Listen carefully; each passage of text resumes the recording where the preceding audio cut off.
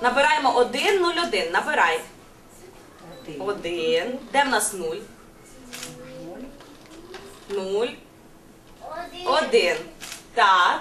І що ми кажемо? Алло, здравствуйте. На, садочку Калинка. Нам потрібна допомога. Нам потрібна допомога.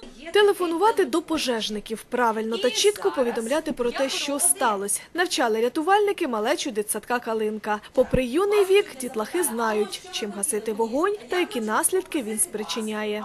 Будуть красні опіки і будуть Дитсадка врятувальники. Хлопчики на випередки приміряли спецодяг. Щоправда, не без допомоги дорослих. Юним надзвичайникам навіть і не потрібні штанці. Куртка від шиї до п'ят. Не тримається і рятувальний пояс. У нашого рятувальника, іди сюди.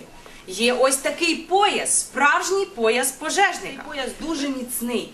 Саме за цей пояс рятувальник може зачепити вірьовку, і по цій мотузці він може спуститися із третього, із четвертого, із п'ятого поверху, аж навіть по стіні, як справжній Бетмен, донизу.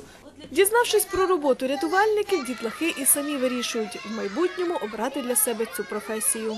Коли я виросту, я стану пожежником. А що ти будеш робити, коли станеш пожежником? Т- Тушити, тушити пожежі, А що ще? Рятувати когось будеш?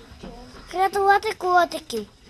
За активність під час пізнавальної гри малюки отримали яскраві книжкові закладки. Рятувальники ж пообіцяли і надалі відвідувати дитячі садочки та знайомити дітей з пожежною безпекою. Ірина Дідух, новини телеканал Віта.